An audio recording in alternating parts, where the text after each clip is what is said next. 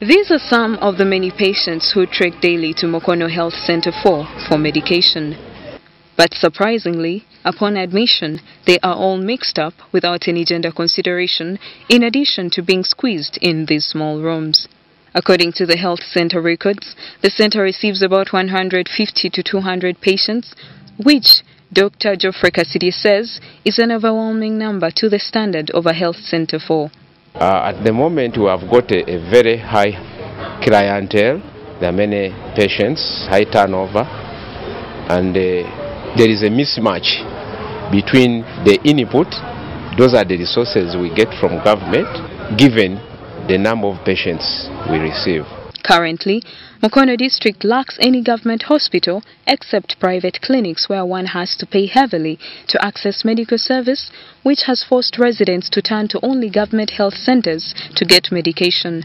Dr. Cassidy explains that the health center has two wards, one for maternity which has only eight beds, and the ninth in the corridor and general ward which has ten beds where they admit female, male patients and children in the same ward. It's unethical though. But in the event that one is sick, he needs a service. You are left with no choice but to continue uh, admitting them the same way. He says that due to high numbers of pregnant mothers, they are forced to discharge them three hours after delivery instead of the recommended 24 hours to create space for waiting mothers who are about to give birth. Uh, this unit was initially a Health Center 3 when it was promoted to a level of Health Center 4, the infrastructure was not developed alongside its level. So you find that we have a maternity unit which has only 8 beds, yet we deliver 15 to 16 mothers daily.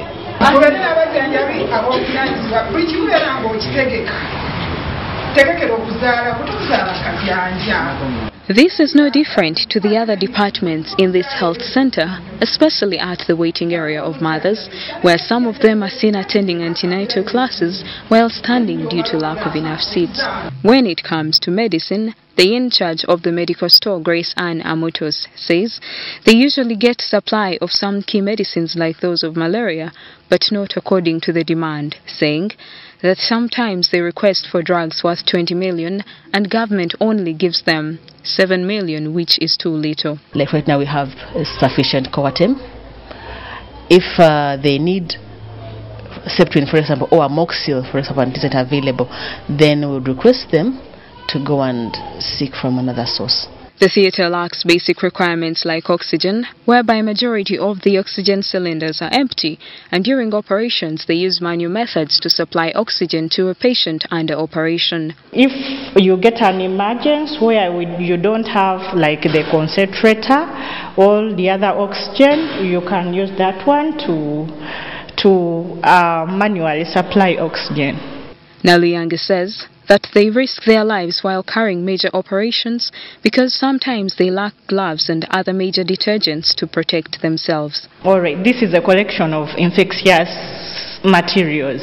So we need a lot of gloves, Jik. You find that we are ever lacking Jik. You just work like that, you improvise soap, you bring and scrub, but it is not the proper way of handling infections. She explains that the operation table in the theatre is too old, which is being covered by polythene paper bags, and rusty, which is dangerous for medical workers themselves and patients. To put a patient, you, you lower it, and if you want to remove, you have to adjust it up uh, so that you can easily uh, remove the patient because you can't lift the patient. Eh? You, we don't have that manpower. The center was worsened by the lack of blood and a refrigerator to store the blood, and despite sending requisitions to the blood bank, they have never been given blood. However, Dr. Cassidy says that despite all the challenges, the medical team is committed towards delivering health services to patients.